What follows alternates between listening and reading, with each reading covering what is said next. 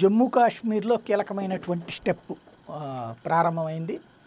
ఒకవైపున బలగాలని ఏర్పాట్లయితే రెండో పక్కన అక్కడ ఉన్నటువంటి ప్రజలకి సదుపాయాలు ఏర్పాటు చేయడం ఇట్లాంటిది. దీంతో తల్లడిల్లుతున్నటువంటి తీవ్రవాద సంస్థలు కొత్త ఎత్తులు వేస్తున్నాయి.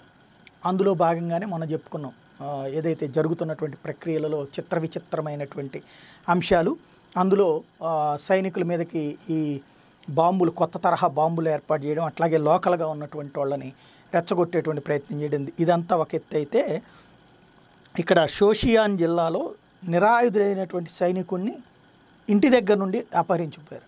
అంటే సైన్యాన్ని బెదిరించేటువంటి ప్రక్రియ ప్రారంభమైందనమాట అంటే ఇప్పుడు ఇదివరకేంటి ఇదివరకు ఏంటి సైన్యంలో ఉంటే ఊరుకోము లేదా సైన్యాన్ని అక్కడ తిరగద్దు లాంటి వ్యవహారాలు.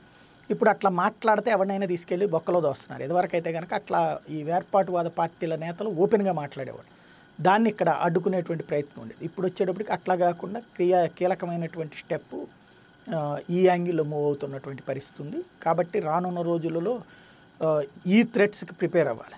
అంటే ఏదన్నా శిబిరం మీదకి ధైర్యం ఉంటే వెళ్ళాలి. అప్పుడు వాళ్ళు ఏంటో తేలుస్తారు. అలా కాకుండా దొంగచాటు వ్యవహారాలు అన్నమాట ఇది తద్వారా భయపెట్టడం సైన్యాన్ని. ఇప్పుడు ఒక్కొక్క సైనికుడి ఇంటి దగ్గర కాపలా పెట్టలేరు కదా. ఆ విధమైనటువంటిది గతంలో పోలీసులను ఇట్లాగా బెదిరించి వాళ్ళకు అనుగుణంగా పని చేయించుకున్నారు. ఇప్పుడు ఆ పోలీసుల మీద కూడా యాక్షన్ జరుగుతున్నటువంటి నేపథ్యంలో ఈ కొత్త ఎత్తు ప్రారంభించారు ఉగ్రమోకలు. దీని మీద ఇప్పుడు ప్రభుత్వం ఎలర్ట్ అయింది.